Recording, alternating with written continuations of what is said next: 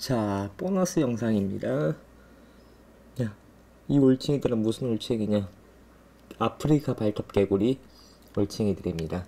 이번에 추가로 번식 성공했는데, 음, 정규 영상으로 다음 주에 올리자기에는 너무 양서류만 올리는 게 아닌가 싶어가지고, 이건 보너스 영상을 올리고, 뭐, 뭐 준비 잘 해가지고 이걸 또 정규 영상으로 또 올라갈 수도 있어요. 일단은, 이거는 보너스 영상이고요. 잘 안 보이죠? 알비노라서 채색이 여린 것도 있고 아직 어린 것도 있어요.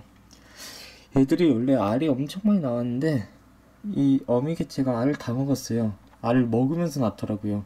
낳으면서 먹으면서 낳으면서 먹으면서 그러더라고요. 그래서 마리수가 많이 안 되고요.